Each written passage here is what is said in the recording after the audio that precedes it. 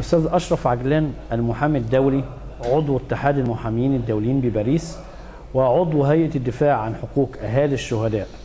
آه كنا نريد أن نسمع من حضرتك الرؤية آه العامة أو الشاملة في اتجاه آه السياسة العامة لل- للبلد بعد الثورة آه ثورة 25 يناير والمحاكمات. وكانت مليونات آه، حدثت قي- يعني فعلت أو فعاليات ال- المليونات منها آه، المح- محاكمة حسني مبارك أو إعدام حسني مبارك. رؤيتك بعد آه، آخر جلسة اليوم وشهادة آه، المشير طنطاوي اليوم. مش هنتكلم في شهادة المشير طنطاوي عشان في حظر يعني إحنا هنتكلم في رؤية سياسية عامة في معطيات البلد بصفة عامة خاصة أننا مقبلين على مليونية 30 عشرة. وقانون الطوارئ وحظر النشر على القضايا مثلا قضايا موقعة الجمل وآخرها خالد سعيد. بقت موضة حظر النشر. مش عارف أنا الكلام ده مخالف قانونا ولا لأ؟ أنا بتكلم على لا هو مش مخالف. بقت صفة عامة آه، للقضاة آه، حظر النشر. مع إن المليونات قامت لأجل أن يعني يعرفوا آه، ما هي سير القضايا. وخاضوا وقفات بل مليونيات عشان تبقى الأشياء علنية. ما تفسيرك لهذه الموضة آه، هذه الأيام؟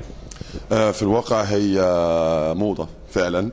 ولكن يعني في أنت أثرت نقاط كتيرة جدا جدا لدرجة إن الواحد مش عارف يحدد النقطة الأهم فيهم فين ولكن نقدر نبتدي من حد من حق المعلومات. ده حق دستوري تعرفه كل الدساتير نعم. حق المعلومات. ده في الظروف العادية بدون ثورات ولا حاجة خالص كل إنسان عنده حق في الحصول على المعلومات. هل نحن عائدون إلى عصر حسني مبارك بطريقة أخرى؟ أنت يعني تقريبا قريت أفكاري وأنا بقول لسعادتك كلمة السر في الأول في الرد على كل ما طرحته من أسئلة هي سياسة فرض الأمر الواقع. تمام؟ فبالتالي اللي بيحصل من أس من يعني بعد تنح تخلي المخلوع حتى هذه اللحظة هو فرض الأمر الواقع. إزاي أنت يعني الناس ممكن تشوفه من تفاصيل كتيرة جدا فتستغرق فيها وما تشوفش الصورة بالكامل. لكن لو حلقت فوق الصورة من الخارج هتلاقي إن في آه، ناس بتدير البلد أو المفروض إنها قيادة سياسية للبلد في هذه المرحلة المفروض إنها موجودة في هذا الموقع بناء على الثورة وباسم الثورة. تمام؟ ولكنك تجد على الجانب الآخر آه، حاملي رسالة الثورة آه، آه، يتذمرون أو معنى أصح تغضبهم دائما قرارات هؤلاء الذين يحكمون باسم الثورة. ده يعني المشهد العام دون تفاصيل. من يدير باسم الثورة؟ يغضب أصحاب الثورة. تمام؟ في قرارات وفي وفي غيره. تمام؟ ففي الواقع يبدو يعني أن أن الأمر يكرر نفسه. وأن أخطاء الماضي آه، لا تبارح الحاضر.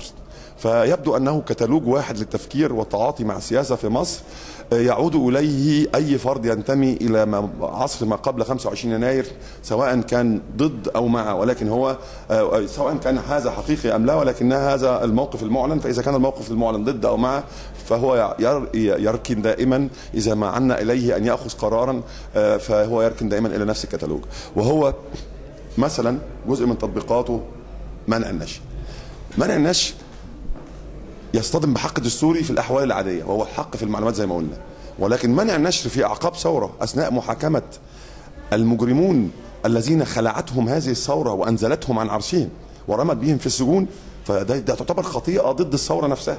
كيف تحكم باسم الثورة؟ ثم تغيب ما يجري في هذه المحاكم الخاصة بالذين اغتصبوا أموال هذا الشعب وقتلوا أولاده. ثم أصابوه بأمراض عضال تفشت في هذا الشعب. تخفي حقائق هذه المحاكمة عن الشعب الذي أطاح بهؤلاء.